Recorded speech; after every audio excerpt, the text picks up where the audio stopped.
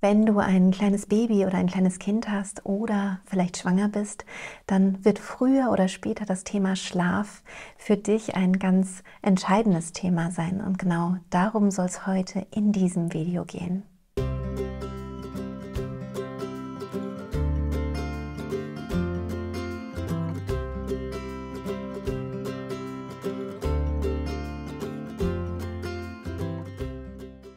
Freue mich sehr, dass ich heute die wunderbare Susanne Mirau bei mir zu Gast habe. Du kennst sie vielleicht von ihrem Blog Geborgen wachsen. Wir sprechen über das Thema Familienschlaf. Wie kannst du als Mutter, als Vater auch zu deinem Recht an Schlaf kommen und wie wichtig ist das eigentlich?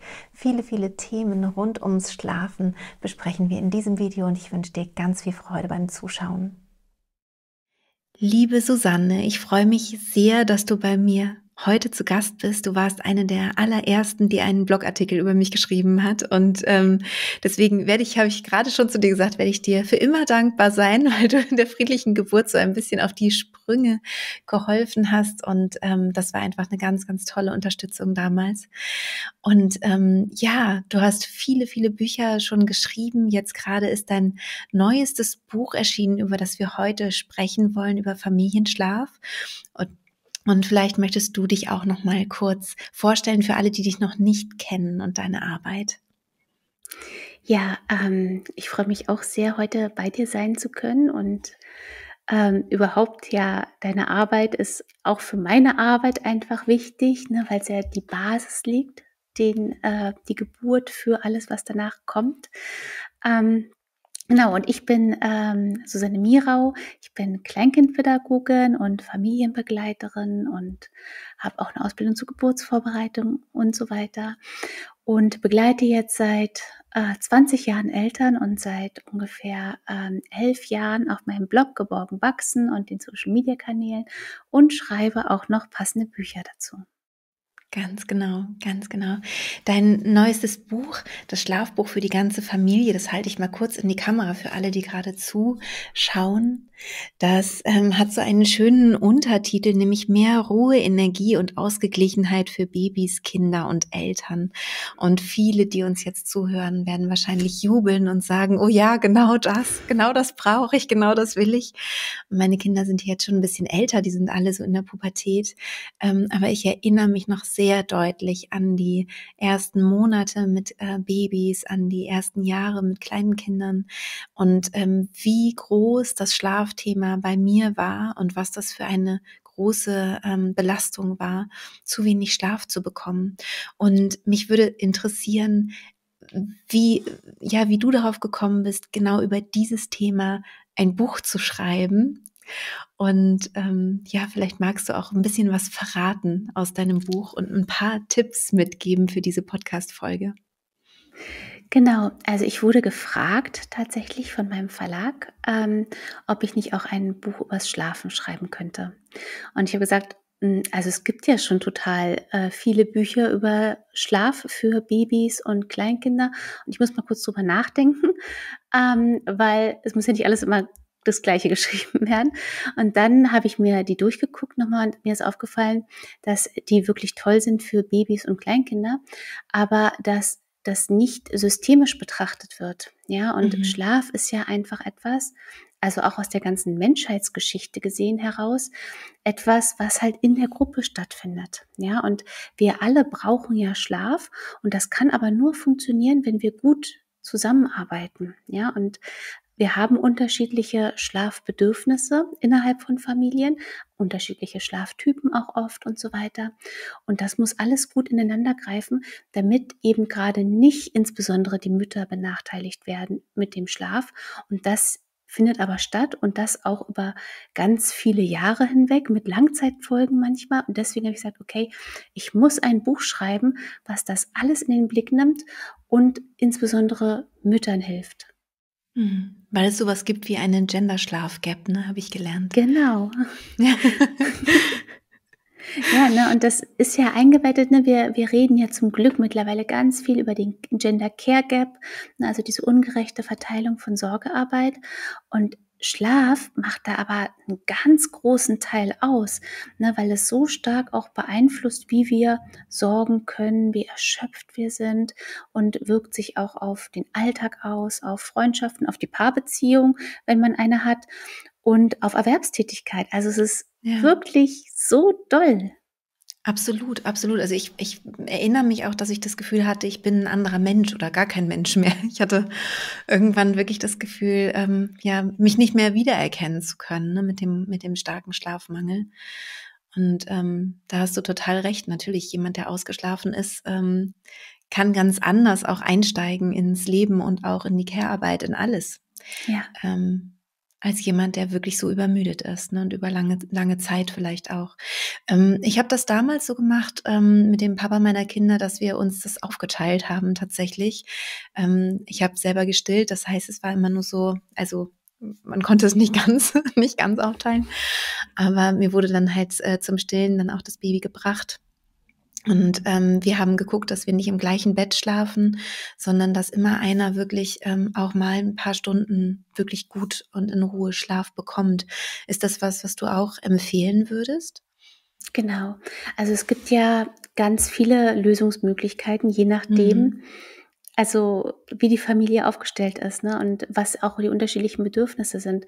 Und ich finde es total toll, was du sagst, dass ihr dann getrennt geschlafen habt, weil das ist ja oft auch in unseren Köpfen so drin, wir müssen, wir müssen ja. unbedingt als Paar zusammenbleiben, auch wenn es bedeutet, ähm, eine Person bekommt weniger Schlaf, ja, so mhm. oder äh, muss sich mehr um die Kinder kümmern oder was ist, wenn eine Person schnarcht total, ja, und bloß weil wir denken, wir müssten zusammen schlafen, das dann durchziehen, obwohl wir echt drunter leiden.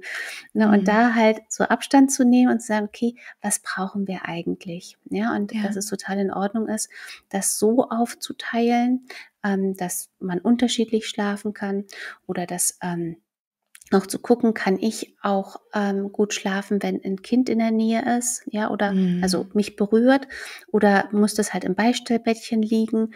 Also da gibt es so viele unterschiedliche Möglichkeiten. Und sich erstmal frei zu machen von diesen Glaubenssätzen und dann zu gucken, was brauchen wir eigentlich, ist, glaube ich, sehr wichtig. Ja, im Grunde ist es ja auch, hat es sich ja auch total verändert, ne? Dieses, ähm, wir ähm, legen unser Kind ab im Kinderzimmer, machen die Tür zu, lassen es schreien, machen Schlaftrainings ähm, und dann schläft es schon irgendwann und dann schläft es auch relativ zügig, vielleicht auch eine Nacht durch oder so. Und ich schlafe eben im Elternschlafzimmer und so ähm, sind wir zum Glück weggekommen ähm, zum Familienbett, also dazu, dass wir im, im im Rudel, wollte ich gerade sagen, in der Familie schlafen. Und dass sie vielleicht da auch keinen Schlaf finden, weil wir halt immer mal einen Fuß im Gesicht haben und dies und das. Also ich zum Beispiel konnte nicht gut schlafen im Familienbett zu fünft. Mir war das einfach zu eng, gerade wenn ich an beiden Seiten äh, Kinder hatte, habe ich gemerkt, ich, ich ich komme einfach gar nicht runter, ich komme nicht in den Schlaf, ich finde nicht mehr in den Schlaf. Ähm, also sind so zwei Extreme sozusagen. Und vielleicht magst du darüber auch so ein bisschen erzählen, also über die Historie und wo kommen wir eigentlich her und was, was brauchen wir eigentlich? Ja, weil das ist total spannend ne, zu sehen, ähm, dass sich ja unser Schlaf so entwickelt hat, weil das für uns als Menschen sehr sinnvoll ist. Ne? Also einmal, wie, mhm. wie Kinder schlafen und wie Babys schlafen, wenn man darauf schaut, dass man feststellt, wie krass, das ist so sinnvoll, dass die diese kleinen Schlafhäppchen nur haben am Anfang, dass sich das nach und nach entwickelt. Und genauso ist es eben mit eigentlich unserem Schlafbedürfnis, dass wir als Menschen eben eher zusammen schlafen, weil wir ja einfach ziemlich schutzlos sind. Ja, also so als Mensch, du, du hast ja jetzt keine, ähm, du bist nicht besonders wachsam, ähm, du hast keine scharfen Zähne, du bist nicht besonders schnell. Ja, wenn du draußen schläfst ohne Gruppe, ist das sehr, sehr schwierig. Und deswegen sind wir eigentlich Menschen, die in Gruppen schlafen. Ja, also dass wir unterschiedliche Schlaftypen haben, ne, Eule, Lerche, was dazwischen damit wir uns, ne, manche gehen früher schlafen, manche gehen später schlafen und können deswegen gut auf andere achten. Und mhm. ähm, dann haben wir eben auch noch die Verteilung in, in, den Altersgruppen, dass Menschen unterschiedlich schlafen, damit sie halt das gut aufteilen können. So, und eigentlich ist dieses gemeinsame Schlafen ja über Jahrtausende hinweg ähm, ja, praktiziert worden. Ja, und dann irgendwann kam halt das, ah, wir schlafen jetzt getrennt und Privatsphäre beim Schlaf ist ganz wichtig, aber Familienleute müssen in einem Bett schlafen, damit sie halt irgendwie Nachkommen zeugen, aber auch nur, wenn sie verheiratet sind. Ne, also solche lauter Zuschreibungen kamen da. Aber selbst noch in der kurzen Vergangenheit haben wir eigentlich viel zusammengeschlafen, ne, weil es auch sinnvoll ist, sich gegenseitig zu wärmen.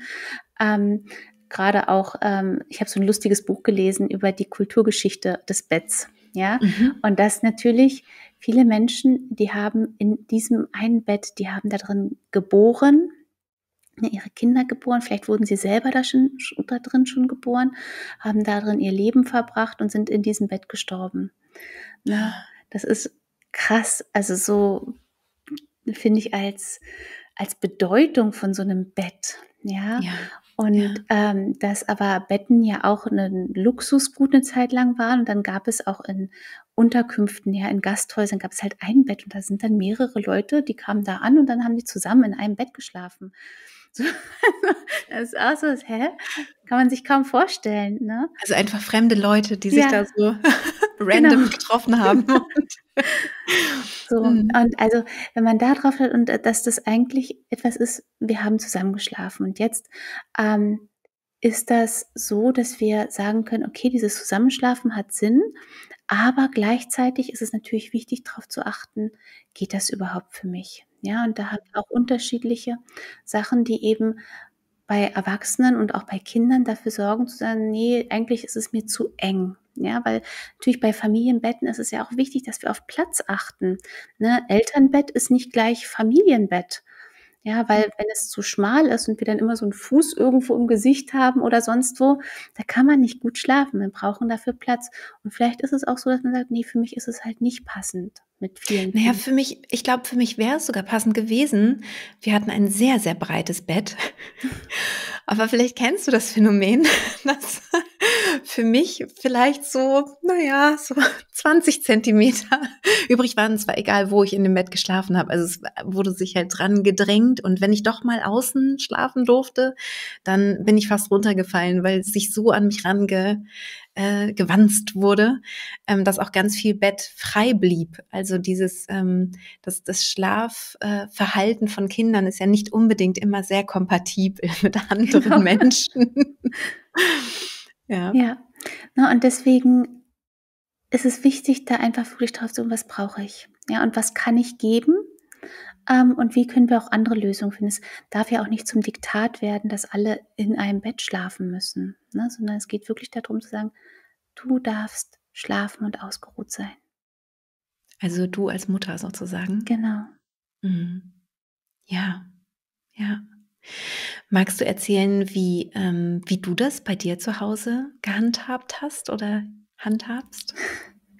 Also wir ähm, hatten Familienbetten, ähm, zeitweise halt auch mit drei Kindern drin. Und da hatten wir halt ein super breites Bett dafür, ähm, dass da alle ihren Platz gefunden haben. Und tatsächlich war das so, als mein großes Kind gesagt hat, das ist jetzt, also von sich aus, ne, das ist ja auch so, so, ein, so ein Ding, dass dann immer denkt, ja, wenn die erstmal im Bett sind, dann kommen die da nie wieder raus.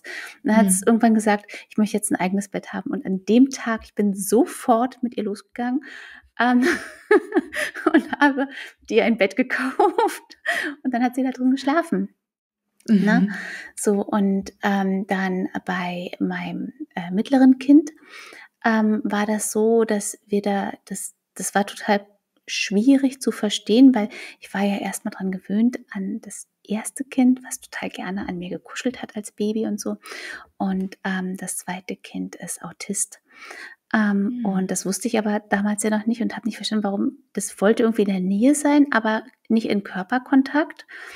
Und habe ich, aber ich habe auch nachts gestillt und dann haben wir das äh, gemacht, dass das mit im Bett lag, aber wir hatten so eine kleine Abgrenzung dazwischen unter dem Spannbettlaken ähm, so eine kleine Wulst, damit es nicht zu nah dran war. Und damit war es dann in Ordnung.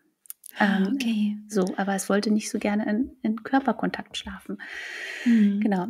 Ähm, und ähm, das dritte Kind ähm, hat dann auch super lange im ähm, Familienbett geschlafen und ähm, kommt immer noch manchmal nachts zu, äh, zu uns und das ist auch in Ordnung bei uns so.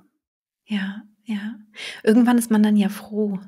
Also jetzt war, war meine Tochter krank, die ist zwölf und hat dann nochmal so gefragt, kann ich bei dir schlafen? Und dann ist man so, ja, gerne, komm her. Also es verändert sich ja auch ne, mit, der, mit der Zeit und irgendwann ist man dann froh. Das kann man sich vielleicht noch gar nicht vorstellen, wenn man gerade so vielleicht auch darunter leidet, ähm, dass es irgendwann auch mal sich drehen kann. Genau. Na, und natürlich haben dann, wenn die Kinder groß werden, dann haben die aber auch noch mal manchmal nachts oder abends Bedürfnisse und wollen noch mal besonders in den Schlaf gebracht, begleitet werden, weil das dann so ein Moment ist, wo sie Sachen erzählen können und vom Tag loslassen können, ne? wenn halt irgendwas besonders anstrengend war in der Schule oder heißt nicht bei Liebeskummer oder so, ne? dass man dann halt da ist und das auch dann nochmal versteht, ne? dass auch selbst wenn man immer denkt, ah, die sind jetzt schon groß, sind mhm. sie ja mhm. trotzdem noch klein, ja, also ja. oder noch kurz Jung. auf der Welt. Und so viele Sachen sind immer noch neu und aufregend. Ja, ich persönlich habe damit immer so eine Herausforderung, weil ich halt eine äh, Lerche bin. Also ich bin eher morgens richtig gut drauf und ähm, kann auch gerne früh aufstehen. Das ist, das ist in Ordnung. Aber ich bin abends wirklich richtig, richtig, richtig müde. Und da bin ich ja sicherlich auch nicht die Einzige, die mit der Einschlafbegleitung dann eben auch dementsprechend Probleme hatte oder hatte. Ähm, was würdest du denn da empfehlen? Hast du da irgendwelche Ideen, wie man das ähm, schaffen kann? Also ich merke auch jetzt, ne, wo ich eben diese Jugendlichen bei mir zu Hause habe, ähm, dass abends eigentlich tolle Gespräche entstehen könnten. Also alle sind bereit, nur ich, nur ich nicht mehr. Ähm, hast du da irgendwelche Tipps, wenn einfach die, die Rhythmen so auseinandergehen? Also wenn man so ein äh, Eulenkind hat und selber eine Lerche ist zum Beispiel? Genau, dass man dann zum Beispiel abends ein, einfach was Schönes zusammen machen kann, was halt ruhig ist, was einem selber entgegenkommt. Ne? Man kann es dann ja auch wirklich erklären, sagen, oh, ich bin einfach wirklich zu müde. Ja, also da nicht die ganze Zeit gegen den eigenen Rhythmus anzuarbeiten, sondern mhm. sagen, okay, für mich geht jetzt nur noch das und das. Ja, wir können hier zusammen im Bett liegen und noch ein Hörspiel hören oder ein bisschen kuscheln oder wenn die Kinder größer sind, dann dürfen sie was vorlesen im Bett oder so. ne? ähm, also, dass man schon sagt, ich bin hier, aber ich kann jetzt nicht mehr irgendwas Wildes machen. Dafür reicht einfach meine Energie nicht. Und das ist ja auch wichtig, dass ich ausreichend Energie habe für den nächsten ja. Tag wieder. Ja, ja, genau.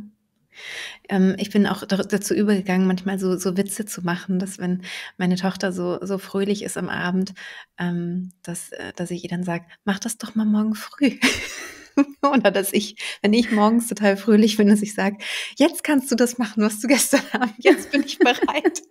Also man kann ja ab einem bestimmten Alter auch so ein bisschen damit spielen und ärgern, so dass man einfach so feststellt, es gibt halt unterschiedliche Rhythmen. Ne? Ich fand es auch ganz spannend, dass du erzählt hast, dass es früher halt auch sinnvoll war, ne? dass wir, ähm, dass nicht alle zur gleichen Uhrzeit plötzlich müde werden und in einen tiefen Schlaf fallen, sondern dass es eben wichtig war, dass manche aus dem Clan oder aus der Familie spät eingeschlafen sind und andere früh. Und ich finde, dass ähm, so ein Verstehen ja auch manchmal total helfen kann, ne? um auch was zu akzeptieren oder nicht zu denken, ich mache jetzt gerade was falsch ähm, in der Erziehung oder ich äh, mache irgendwie, keine Ahnung, begleite meine Kinder nicht richtig oder so, weil die müssten doch eigentlich schon dies oder das können, sondern mehr halt auch zu wissen. Und ich glaube, das kann man auch in deinem, in deinem Buch ganz ganz gut lernen, sozusagen zu, ähm, ja, zu verstehen, ähm, was sind eigentlich, also ja, was macht den Kinderschlaf eigentlich aus und ähm, was ist da auch ein, einfach normal?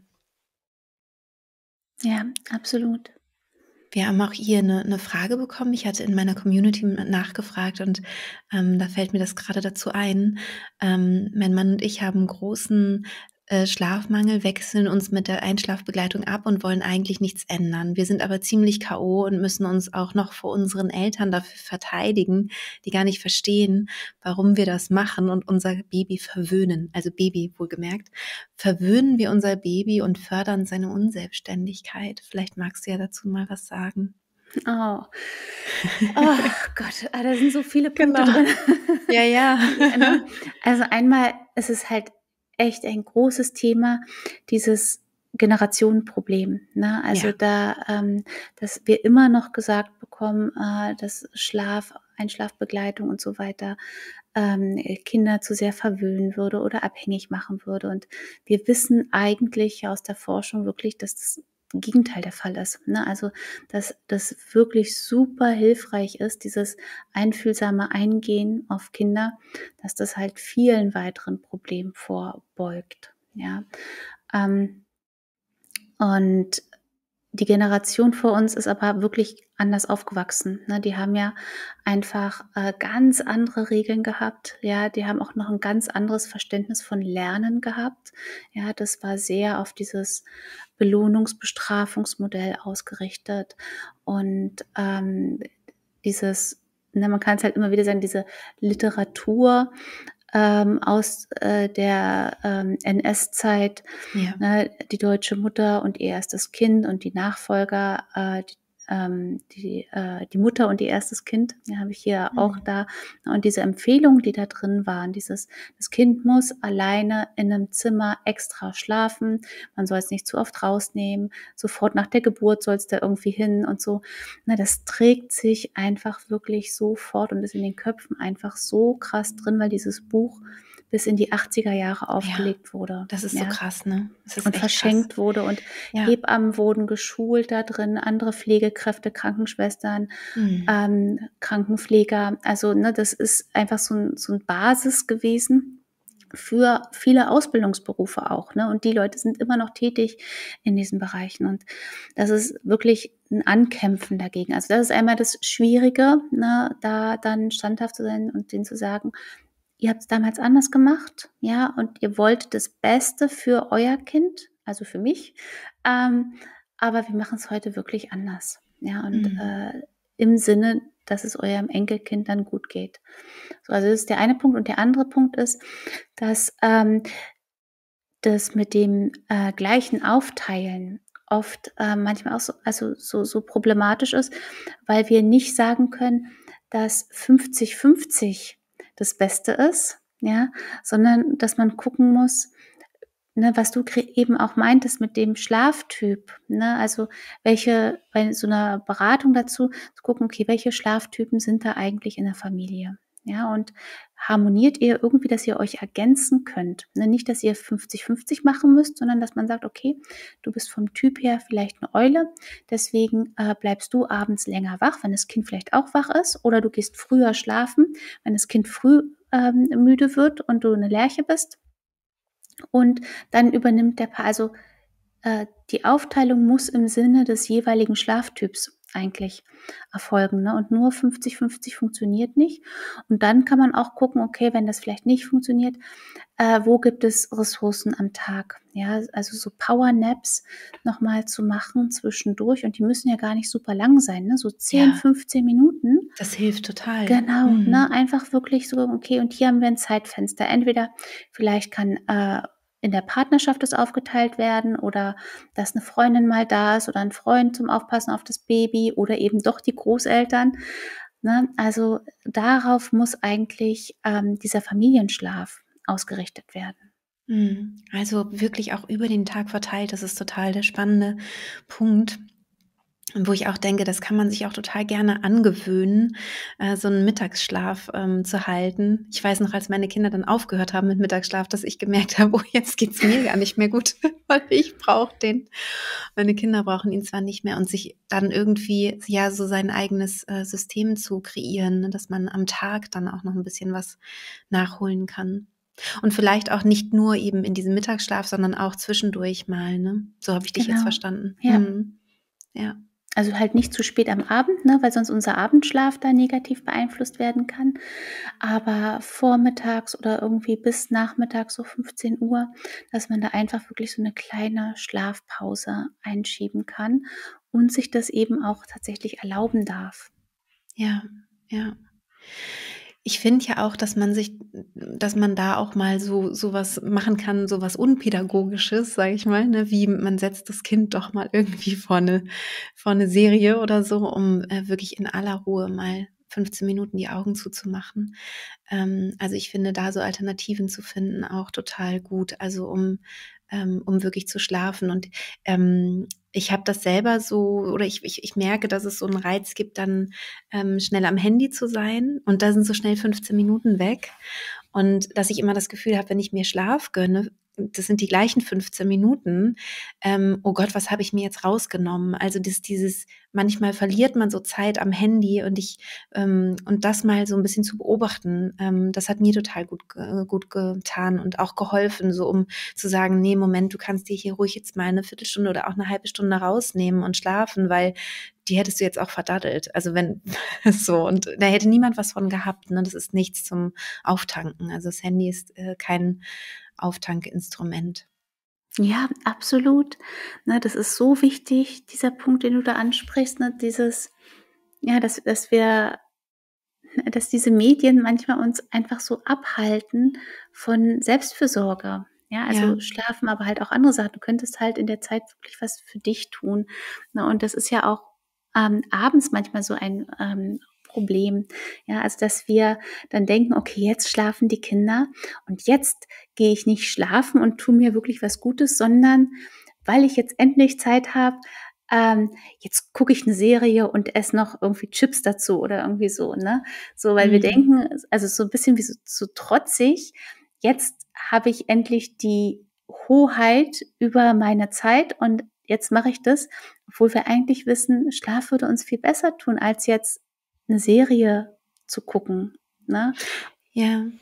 Wobei ich das halt auch voll verstehen kann. Ja. Also auch diese, die, diese, äh, dieser Wunsch, etwas Unvernünftiges zu tun. Also das hatte ich auch ähm, mit kleinen Kindern ganz stark. Also diesen, diese, das ist so eine, so eine Aus, Bruchssehnsucht, würde ich es ja. fast nennen. Also ich will mal, ich will raus aus dieser, ähm, aus dieser ständigen ähm, Verantwortung oder aus dieser, diesem ständigen vernünftig sein müssen. Und wenn jetzt endlich diese drei kleinen Kinderlein schlafen, ähm, ich hatte dann wirklich eine Zeit, wo ich ähm, tatsächlich, also ich, ich habe mein Leben lang nie, nie geraucht, aber in der Zeit habe ich äh, dann tatsächlich am Abend mit einer Freundin draußen Zigarette geraucht, weil es so krass und vernünftig war und ich irgendwie anscheinend das Gefühl hatte, ich muss da irgendwas, ähm, ja, irgendwas kompensieren oder so. Ja, na und aber also das ist ja vollkommen richtig eigentlich, ne? Weil es uns mhm. zeigt, äh, wir haben das tagsüber zu wenig. Mhm. Und das geht ja dann eigentlich dahin, weil wir diese Überlastung an Care-Arbeit haben. Ja, und dass wir, also diese, diese ganzen Strukturen, die uns das schwer machen, dass wir zu wenig auf uns achten, ähm, können, weil wir zu viel Aufgaben haben, zu viel zu tun zu haben, die sind letztendlich auch noch daran schuld, dass wir dann abends denken, okay, jetzt endlich habe ich Zeit und jetzt muss ich was machen. Mhm. Ne? Also dieses Bedürfnis da auszubrechen und endlich selbstwirksam zu sein, kommt ja einfach daher, dass wir es sonst nicht sein können, weil das nicht ja mütterfreundlich, nicht familienfreundlich ist, unsere Gesellschaft. Und dann hindert uns das auch noch am Schlaf. So, es ja. ist einfach super fies. Ja, ja, total, total. Und man, man äh, stellt sich selbst ein Bein. Ja, ja, aber ja, also halt ne, durch diesen ganzen Druck und durch diese ganzen mhm. Alltagsprobleme. Ne? Und ja. deswegen finde ich es auch so wichtig, also nicht noch, ähm, noch mehr Schuldzuweisungen zu machen, ne? zu sagen, jetzt, du musst jetzt aber so mit dem Zeigefinger, du musst jetzt aber schlafen und das ist voll schlimm, dass du das nicht machst, sondern zu sagen, ja, das machen wir nicht, weil wir nicht gut behandelt werden als Sorgepersonen in dieser mhm. Gesellschaft. So, also auch immer das ähm, Verständnis damit zu bringen für sich selbst. Ja, so ein Selbstmitgefühl. Ne? Ja. Das ähm, lernt man ja auch so schön in buddhistischen äh, Meditationstraditionen, ne? dieses äh, Selbstmitgefühl zu schulen, was ich auch wirklich, ähm, wirklich toll finde. Und dann eben auch zu merken, na ja, es kommen eben auch so Automatismen, die vielleicht zum Teil sogar selbstzerstörerisch sind. Also ich meine, dieses Rauchen am Abend, das, das ist ja auch noch selbstzerstörerisch. Also es ist halt so ja. irgendwie ganz doof. Ähm, zu gucken, was für eine, was für eine Sprache steckt denn da, also was, was, was steht denn wirklich dahinter und dem wirklich zuzuhören? Und, so, und das fand ich schön jetzt, dass du gesagt hast, am Tag kommt so viel zu kurz, dass es dann am Abend aufgeholt wird und vielleicht dann eben sogar auch so was Paradoxes dann dabei rauskommt und mehr noch vielleicht zu gucken, okay, gibt es vielleicht irgendwas, wo ich ähm, mich am Tag auch entlasten kann und ähm, ein Gefühl von Selbstwirksamkeit haben kann. Also wo könnte ich mir denn irgendwas schaffen? Und das ist dann wieder e-, eher eine Denkaufgabe, denke ich, ähm, als dass es so ein Automatismus ist. Ne? Also ein Automatismus ist das Greifen zum Handy, finde ich zum Beispiel, oder ähm, das ähm, Gucken einer, äh, einer Netflix-Serie oder Zigarette mit der Freundin, der Nachbarin. Genau. Ähm, aber ähm, ja, sich wirklich hinzusetzen, zu überlegen, okay, was lädt mich wirklich auf? Und manchmal sind es ja auch Sachen, die man ähm, vielleicht gar nicht so auf dem Schirm hat. Ich habe zum Beispiel super spät erst entdeckt, dass ich am Abend, wenn ich so wahnsinnig müde bin, ähm, äh, Musik machen kann und dann wacher werde. Also das ist zum Beispiel was, was ich ganz, ganz spät erst rausgefunden habe, wirklich erst vor einem Jahr oder so. Und, ähm, und was ich jetzt ganz gut nutzen kann. Also dass ich entweder wirklich Musik anmache und tanze, ähm, egal wie peinlich das auch sein mag für meine Kinder. und oft tanzt auch eins mit. Ähm, oder dass ich eben wirklich meine Gitarre raushole und singe oder was auch immer. Also irgendwie Musik mache oder Musik höre und da lade ich auf. Und ähm, ich habe festgestellt, das sind halt Sachen, die ich schon immer gemacht habe, auch als Jugendliche gemacht habe und die mir auch da schon Kraft gegeben haben. Also es muss jetzt nicht das sein für jeden, für anderes vielleicht Sport oder irgendwas, wo man sagen kann, okay, kriege krieg ich das vielleicht mit meinem Alltag mit Kind auch hin, weil ich heute denke, ah Mann, hätte ich das früher mal festgestellt, es hätte mir geholfen, auch mit kleinem Baby in der Trage oder so Musik aufzudrehen und ein bisschen zu tanzen. Das kann man auch mit kleinen Kindern oftmals ganz gut. Ähm, und dann ähm, lädt mein Akku so weit auf, dass ich noch eine Stunde ganz gut durchhalten kann ne? und nicht in, diesen, in diese ganz, ganz schlimme, unerträgliche ähm, Foltermüdigkeit rutsche. So, ja.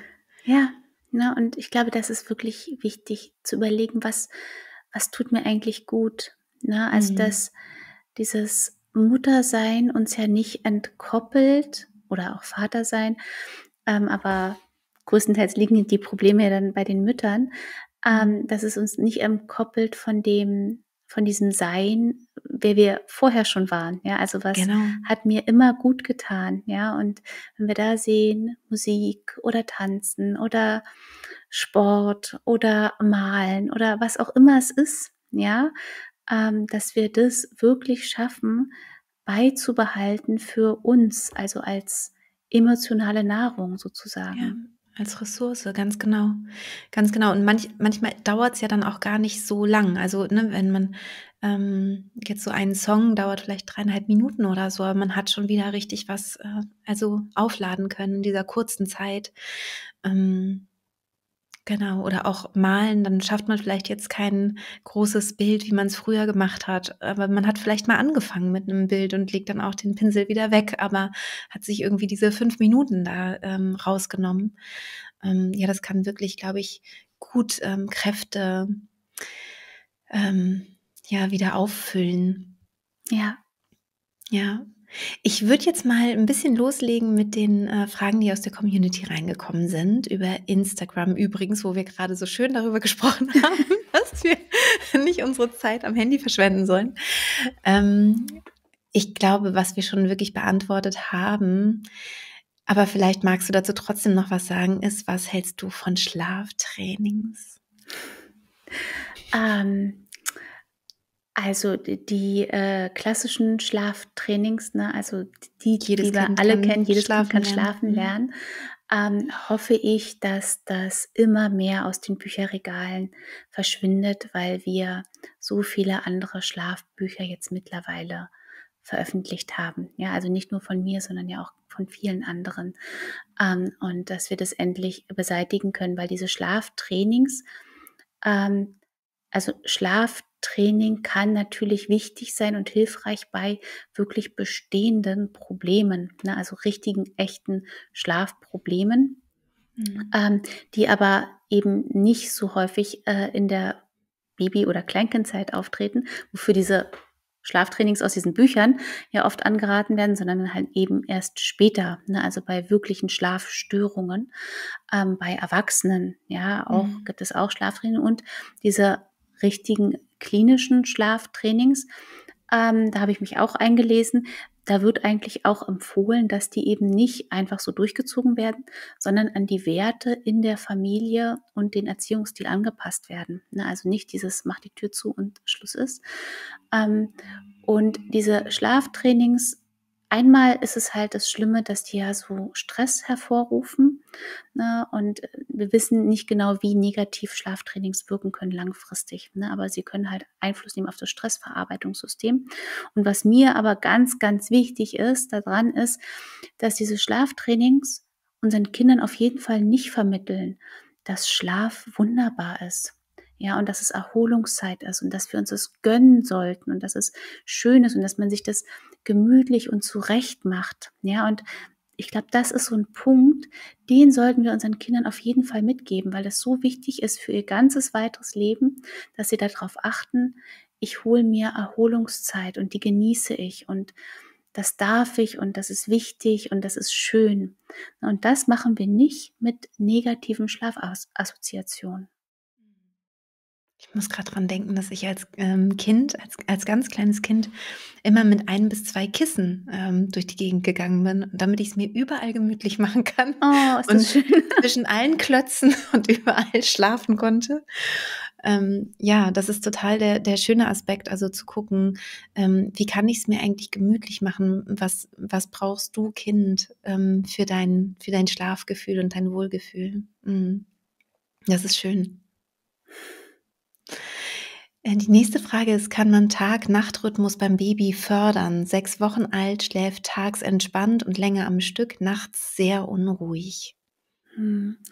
Also, ähm, ich habe vorhin schon gesagt, dass diese, ähm, also dass der Babyschlaf eigentlich ganz sinnvoll ist, ne? weil wenn wir da drauf einmal schauen, ähm, diese kleinen Schlafintervalle äh, liegen ja auch daran, also dieses, dieser neue Mensch, kommt ja aus dem Uterus auf diese Welt und alles ist so krass anders. Ja, also einfach alles.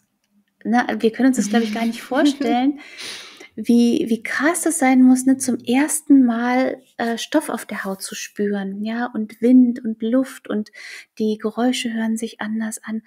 Alles sind neue Informationen und damit muss das Kind ja erstmal zurechtkommen.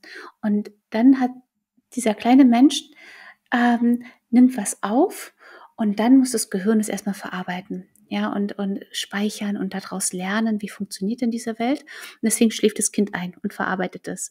Und dann hat es das verarbeitet und dann wacht es wieder auf und schon wieder ganz viele neue Sachen kommen auf das Kind so und dann schläft es wieder. Ne? Und nach und nach äh, baut sich dann so ein Bild auf im Kind von sich als Mensch und von der Umwelt. Äh, und diese Schlafphasen werden dann einfach länger. Ne? Es kann mehr Informationen aufnehmen, äh, also über eine längere Zeit und dann verarbeitet es und dann äh, gleicht sich, also verändert sich dieser Schlafrhythmus auch. Ne? Und ähm, das erstmal anzunehmen ist total wichtig, also zu verstehen, wofür ist dieser Schlaf eigentlich da und auch gerade dieser REM-Schlaf für die Kinder, äh, für die Babys besonders wichtig ist, wo sie das alles verarbeiten und lernen. Und gleichzeitig können wir das unterstützen mit dieser Anpassung an den Schlaf-Nacht-Rhythmus, indem wir eben zum Beispiel schon früh morgens rausgehen. Ne? Also dieses, davon sind wir auch so ein bisschen entkoppelt von, vom Tagesrhythmus. Ne? Also mhm. hell und dunkel und Licht bekommen. Ne? Und deswegen ist es eigentlich so wichtig, dass für uns Erwachsene, dass wir möglichst früh morgens eigentlich rausgehen und sagen, ah, der Tag ist da. Ja, äh, hier die Lichtrezeptoren, ich glaube, die sind sogar ähm, eher unten am Auge drin. Deswegen hilft es nicht, wenn wir eine Tageslichtlampe irgendwie hier unten machen, sondern wir ah, brauchen Tageslicht tatsächlich so von oben, von oben. Mhm. und gehen dann raus äh, und nehmen das wahr. Mhm. Ja, und das Baby auch. So, und jetzt ist es hell und dann wird es halt später dunkel. Ne? Also das unterstützen wir tatsächlich mit diesem Spazierengehen mit den Kindern so ein bisschen, ja. Und auch, ähm, es wird oft noch geraten, dass halt dunkel gemacht werden soll, ne, der Raum äh, tagsüber, damit die Babys schlafen. Aber das ist ja eigentlich nicht so. Ne? Eine also, künstliche Nacht. Mhm. Genau. Ne, also mhm. keine künstliche Nacht schaffen, sondern halt tatsächlich, dass das Kind das, das lernen kann. Wie ist dieser Tagesablauf? Mhm. Und Rituale. ja. Ja, magst du dazu noch was sagen zu Ritualen? Na, das, äh, ich wollte dich gerade gar nicht unterbrechen. Nee, alles ähm, gut. na, aber dass ähm, das auch eben hilfreich sein kann, weil diese kleinen Menschen ja sich an irgendwas orientieren, ja, in ihrem, in ihrem neuen Leben. Ne? Und das hilft ihnen, wenn wir Regelmäßigkeiten haben. Ne? Die müssen nicht super streng sein, aber ne, dass sie halt merken, aha, und jetzt passieren die und die Dinge und deswegen wird jetzt wieder die Zeit sein, wo wir uns zusammen einkuscheln. Ja, mhm. so, also sowas. Ja, ja. Ähm, was vielleicht auch noch helfen kann, um sich so ein bisschen da hinein zu entspannen, ähm, aus, aus meiner Erfahrung mit drei Kindern, ähm, kann ich sagen, dass, dass die, also das passiert automatisch. Also die werden sich automatisch anpassen nach, nach einiger Zeit. Das braucht ein bisschen, aber das passiert bei jedem Kind. Ähm, und das ist ja logisch, dass es passiert und das ist uns ja eigentlich auch klar. Aber vielleicht hilft es auch nochmal, das zu hören, dass die Kinder das auch ganz von selbst äh, irgendwann machen. Ja. Dass sich das verändert, ne? dass sie sich anpassen. Genau, und das ist ja, also mit sechs Wochen, ne, ähm, man sagt ja, dass dieses erste Trimenon nach der Geburt ist ja noch so eine Nachreifezeit. Ne? Die kommen, also die Babys kommen ja so zu, zu, als physiologische Frühgeburten auf die Welt und reifen ja eigentlich noch nach. Also die müssen wirklich da ankommen und sich erstmal mit all dem so auseinandersetzen, was sie hier vorfinden. Ja, und ich frage mich auch, du meintest ja gerade, ähm, wie viel die dann so wahrnehmen und aufnehmen von außen, wie viel Impulse da auch kommen, ob das Schlafen am Tag nicht auch dazu beiträgt, also wie so ein Selbstschutz, um nicht zu viel aufnehmen zu müssen. Das kam mir gerade noch mal so in den so in den Sinn. Ja, das ist ähm, ja auf jeden Fall. Ne? Also dieses Verarbeiten und dann äh, Cut machen. So, jetzt muss ich erstmal das äh, verarbeiten. Ne? Und das ist ja, also super spannend, weil, weil ich mache auch gerade so eine Weiterbildung, ähm, wo es darum geht, äh, Interaktionsmuster zu sehen. Ne? Und dass manche Kinder tatsächlich ja auch Schlafen nutzen, wenn sie halt überreizt sind. Ne? Manche Kinder mhm. schaffen das nicht, mhm. aber manche Kinder nutzen eben Schlaf auch, um ähm, da gut ja, abzuschalten. Ja, ja. Und das ist ja eine total gesunde Eigenschaft eigentlich. Also vielleicht hilft es auch, ne, wenn man sagt, wow, mein, mein Kind sorgt gut für sich. Also vielleicht kann das auch helfen, um das, äh, um, um besser mit den Anstrengungen, die damit einhergehen, auch umgehen zu können. Könnte ja. ich mir vorstellen. Mhm. Die nächste Frage ist, äh, wie kann ich bedürfnisorientierte Einschlafbegleitung machen und nicht dabei über meine Grenzen gehen? Es dauert seit einigen Wochen immer länger, bis mein Kind schläft. Ja, das ist, ähm, wir glauben, dass wir diese Einschlafbegleitung machen müssen, bis das Kind einschläft und damit ähm, sorgen wir dann nicht gut für uns. Ne? Ähm, und der Schlaf von Kindern verändert sich ja. Und manchmal ist es so, dass sie halt einfach der Schlafdruck nicht da ist. Ja, das Kind wird nicht mehr so müde wie vor einem halben Jahr, weil es halt jetzt größer ist weil es ähm, älter ist. Und ähm, unser Denken ist aber daran noch angepasst und sagen, okay, wir müssen jetzt ins Bett, du musst jetzt schlafen gehen. Vielleicht auch, weil ich endlich meine freie Zeit haben möchte. So, und ähm, dann quälen wir uns durch viel zu lange Einschlafbegleitung, weil das Kind einfach nicht müde ist, mhm. nicht genug müde ist. Ne? Und das hilft niemanden und erhöht nur den Stress. Ne? Und dann zu gucken, okay, vielleicht ist das Kind wirklich nicht müde und das muss länger aufbleiben. Aber also das kenne ich auch.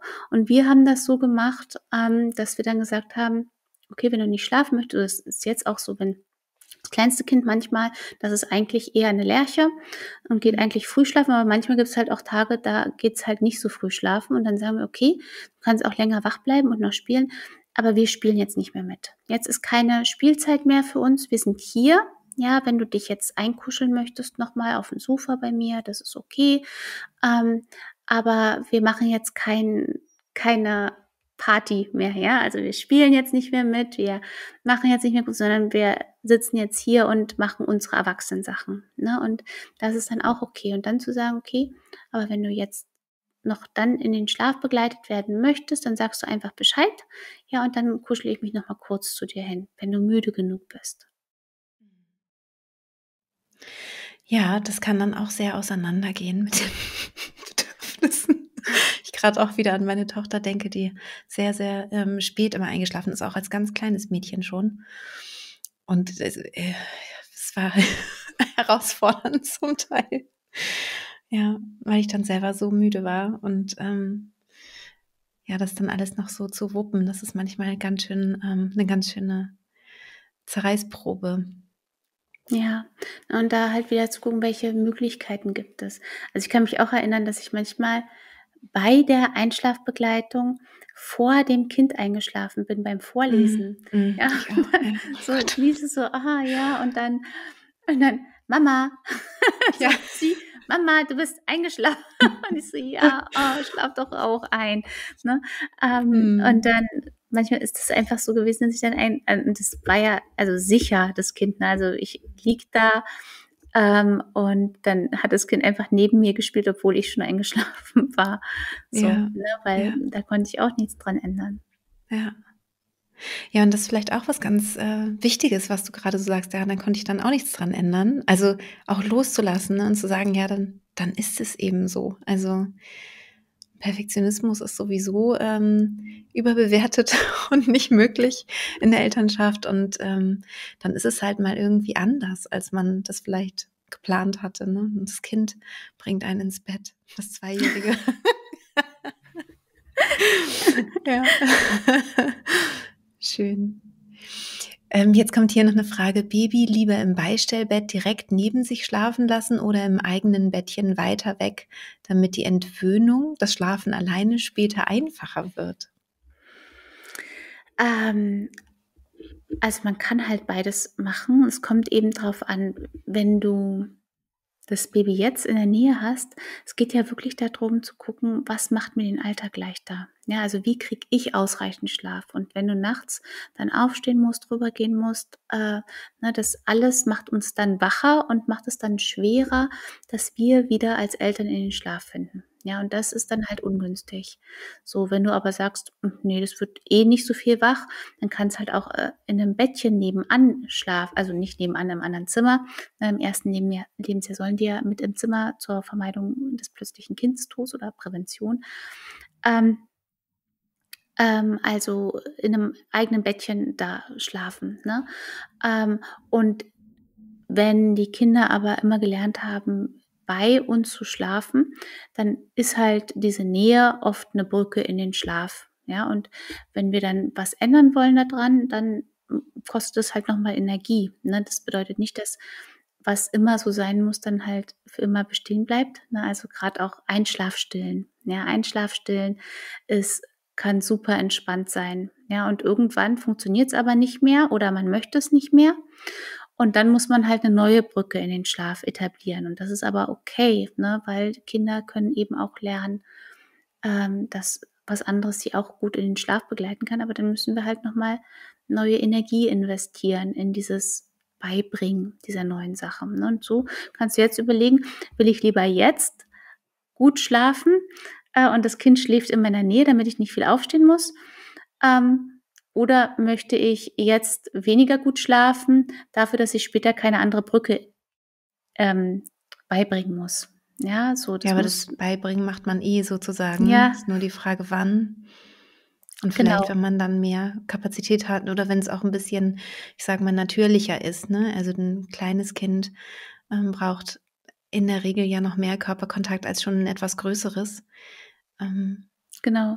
Und ich habe halt auch immer das Gefühl, dass man ein ganz gutes Gespür hat. Also, dass man einfach ein gutes Bauchgefühl dazu hat, zu seinem eigenen Kind. Also, ich finde ja immer, dass Eltern die viel Zeit mit ihren Kindern verbringen, wirklich die ähm, ja die Fachpersonen sind für für diese Kinder ne? und eigentlich, wenn sie auf ihr Bauchgefühl hören, ähm, da nichts falsch machen. Oft gibt es eben diese diese Angst, was falsch zu machen, was eben wirklich aus diesen ganz alten Geschichten kommt, was du vorhin auch meintest, was glaube ich so die den Ursprung oder wo man es auf jeden Fall gut nachlesen kann in diesem fürchterlichen Buch ähm, findet ähm, die deutsche Mutter und ihr erstes Kind, glaube ich, ne, mhm. heißt es ähm, dass man denkt, wenn ich müsste jetzt, ich muss über mein inneres Gefühl hinweggehen, gegen mein Kind arbeiten, um es dann selbstständiger zu machen oder um nicht etwas falsch zu machen oder so, weil dieses Buch ist halt so gestaltet, dass es immer gegen den Impuls geht, immer gegen den Instinkt geht, gegen den Mutterinstinkt oder Vaterinstinkt geht. Und, ähm, und das ist so tief in uns verwurzelt, dadurch, dass vielleicht unsere Eltern uns so ähm, erzogen haben oder die Großeltern, die Eltern, wie auch immer, das ist in unserer ähm, in unserer Geschichte wahrscheinlich irgendwo steckt das da drin. Und dann bleibt da so eine Angst, was ist, wenn ich einfach ähm, so lebe, wie es am angenehmsten ist? Ist das dann okay? Und ich kann aus meiner Erfahrung auf jeden Fall sagen, Susanne sagt du gerne auch noch mal was dazu, ähm, wie du das so empfindest, aber aus meiner Erfahrung ist das ein guter Weg. Also der Weg, der leicht ist, der möglichst einfach ist, ist ein guter Weg. Denn auch zum Beispiel ein Kind einen ganzen Tag lang vor irgendeinem Gerät zu parken, sage ich mal, ne? also vor, vor irgendwas, vor irgendeiner Serie oder so, ist kein leichter Weg, weil man hat am Ende das total unausgeglichene Kind, was so, also was dann rumschreit und so weiter, weil es überhaupt nicht mal draußen war oder wie auch immer. Das heißt, wir spüren was sich gut anfühlt und das ist dann und das ist dann auch leicht und oder leichter als äh, dieses sage ich mal, gewaltvolle, also gegen, gegen diese eigenen Instinkte anzugehen und zu sagen, nein, ich schieb dich jetzt mal weg, damit ich dich schon mal vorsorglich irgendwohin erziehe. Ja, also das brauchen wir nicht. Diese Anstrengung können wir uns auch einfach sparen. Ja, absolut. Na, ähm, die, die Kosten von Anpassung von Kindern gegen ihr, also gegen ihr ähm, individuelles Temperament. Also gegen ihr Wesen sozusagen. Ähm, da gibt es ja so unterschiedliche Temperamentsdimensionen. Ähm, und unter bestimmte ähm, Vorstellungen von uns, die Kosten davon, das, das ist nie, das funktioniert nie umsonst. Ja, also wenn wir sagen, wir wollen, dass das Kind, also egal in welcher Erziehungsfrage, dass das Kind jetzt durchschläft, obwohl es das nicht kann, diese Kosten, dann schläft es vielleicht, wenn wir viel Druck ausüben aber das wird an einer anderen Stelle wieder auftauchen und mhm. anstrengender sein zu bearbeiten, mhm. als zu sagen, okay, äh, wir gucken auf dein individuelles Schlafbedürfnis und wie wir das besser begleiten können, statt zu drücken. Und so ist es in vielen anderen Themen auch. Wir versuchen das kopfgesteuert, ähm, diese Kosten zu verlagern, aber meistens machen wir uns damit das Leben einfach viel, viel schwerer. Ne? So und ähm, deswegen, ne, also ich will nie sagen, okay, äh, wenn das nicht dein Ding ist, äh, diese körperliche Nähe, dann musst du das trotzdem machen, ja, äh, und dein Kind zu dir ins Bett holen. Aber wenn es wirklich nur eine Frage des Mindsets ist, ja, also dass wir wirklich denken, das ist jetzt nicht gut oder wie wird das später, aber eigentlich das schon unser Ding ist und wir merken, dass eigentlich ist es, fühlt sich das gut an, ja, dann nicht vom Kopf steuern lassen, ja, weil diese mhm. Kopfsteuerung mhm. ist halt das mit diesen ganzen, was du gerade meintest, ne, mit diesen ganzen Glaubenssätzen, mit diesen, das musst du, damit du gut bist oder weil äh, so Erziehung funktioniert und, und das macht es uns so unglaublich schwer, unseren ja. Alltag zu machen. Ja, und ähm, ich habe auch mal eine, eine Mail bekommen von einer Frau, die Sorge hatte, ähm, das kleine neugeborene Kind im Bett schlafen zu lassen, ähm, wegen Angst vor plötzlichem Kindstod. Vielleicht gibt es da auch noch mehrere, ähm, die die gleiche Sorge haben. Vielleicht magst du dazu auch noch mal was sagen. Also manchmal ist ja auch dieses kopfgesteuerte irgendwas, was man mal irgendwo aufgeschnappt hat und dann deswegen versucht, sich irgendwie da möglichst optimal zu verhalten. Genau, also auch da, ne, ähm, das ist natürlich auch wieder so eine Angst, ja, also so kopfgesteuert. Ähm, und man liest so Halbwissen oft oder hört Halbwissen zum Thema plötzlichen Kindstod. Und mittlerweile gibt es aber auch viele Studien, die eben zeigen, dass das nicht eine Sache, also natürlich ist es wichtig, wie gestalten wir die Elternbett- oder Familienbettsituation, ja, also dass äh, ausreichend Platz ist, dass das Kind nicht die Atemwege verdeckt bekommt durch äh, Kissen, Decken, andere Menschen oder Tiere. Ja, ähm, also das ist super wichtig, dass man darauf achtet, aber dass eben ähm, da in diesen Studien ganz viel so zusammengewurstelt wurde, dass Kinder, äh, dass gesagt wurde, okay, die sind im Elternbett geschlafen, weil das Baby ähm, in Bauchlage auf dem schlafenden Elternteil lag und dann auf dem Sofa zur Seite gerutscht ist, dazwischen, zwischen Sofa und dann konnten die nicht mehr atmen. Ne? Also, dass solche Sachen damit reingerechnet wurden und tatsächlich das Schlafen in der Elternnähe eben nicht das Problem ist. Ähm, wobei aber natürlich wichtig ist, wenn man das macht, dass die Babys mit im Bett schlafen oder Kleinkinder, ähm, dass man halt äh, darauf achtet, eben nicht, äh, dass da Rauch mit ins Zimmer kommt, ja, dass das ungünstig ist, dass die ähm, Erwachsenen nicht unter Drogen sind, die den Schlaf beeinflussen und auch das ist wichtig, wenn wir zu großen Schlafmangel haben, ähm, dann ist das ein bisschen so, als ob wir Alkohol getrunken hätten. Ja, dann sind wir nicht mehr so, dass wir nicht mehr so gut reagieren können. Deswegen ist es wichtig, dass man gut schlafen kann, damit das mhm. Kind auch bei einem schlafen kann, dass man da eben äh, das gut ähm, gestalten kann. Ne? Aber also da, genau, habe ich auch ein ganzes ähm, Kapitel drüber geschrieben, mhm. ne, dass da viele falsche Annahmen kursieren ähm, und wir da eigentlich viel entspannter mit umgehen können. Ja, ja. Und was man auch machen kann, das erinnert mich so ein bisschen an das, an, an deine äh, Lösung mit dem unter dem Bettlaken, dass du da sowas hattest, so eine kleine Barriere.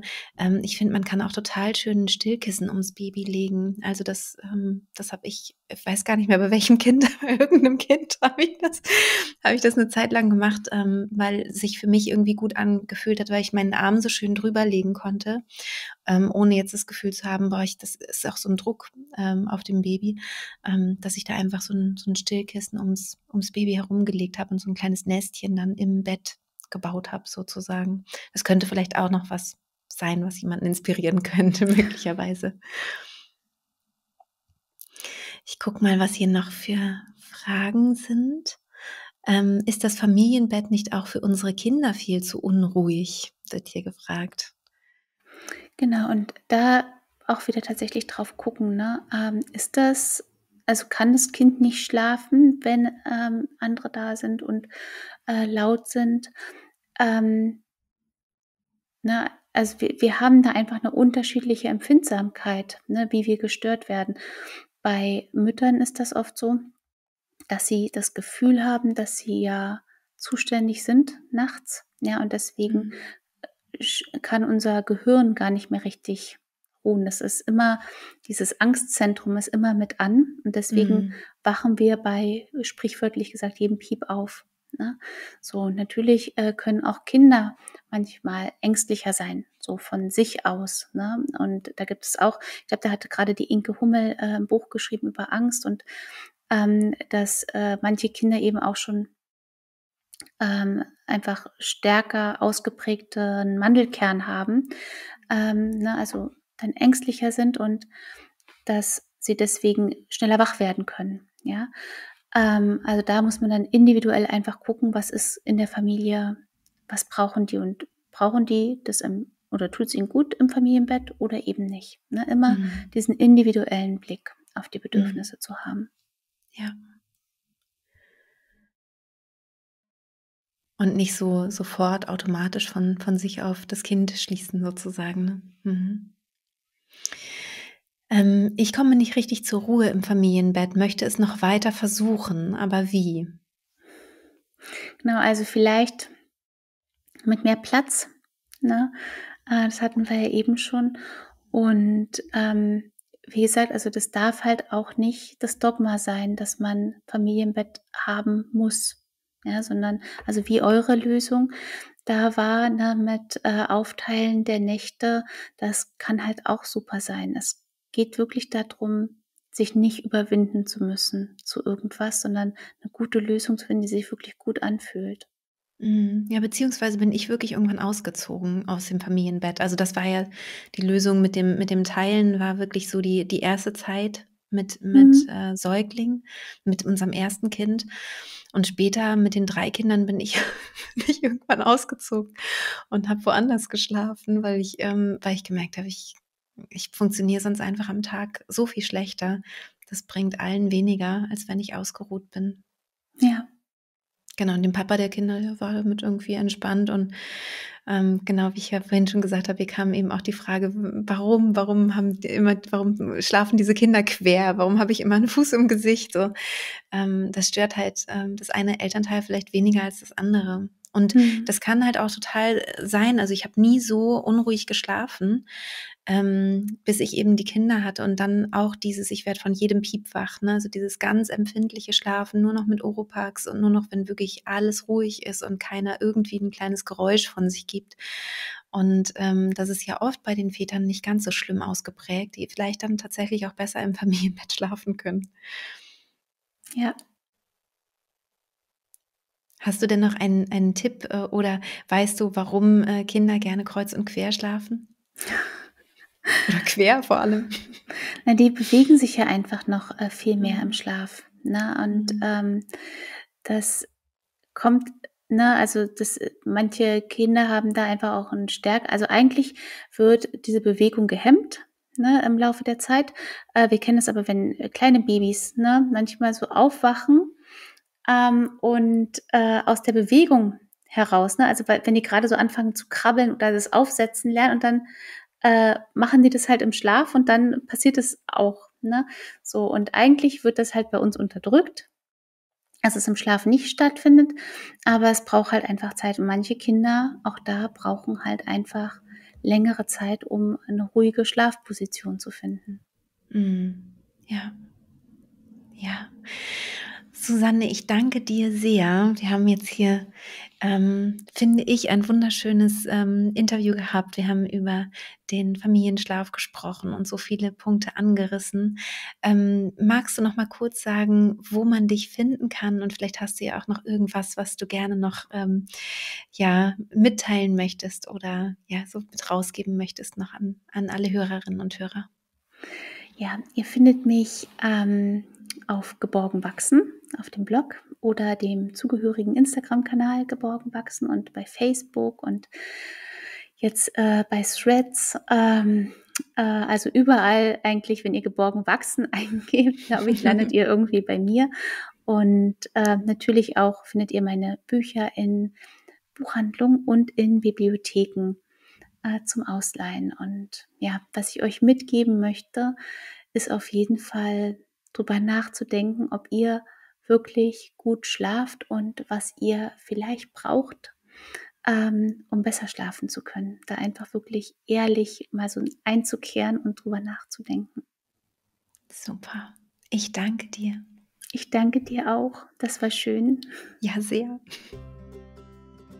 Ja, das war's mit dem Interview mit Susanne Mirau. Ich freue mich sehr, dass sie hier zu Gast war und ich hoffe, dass es dir gut gefallen hat. Lass uns gerne einen Daumen nach oben da.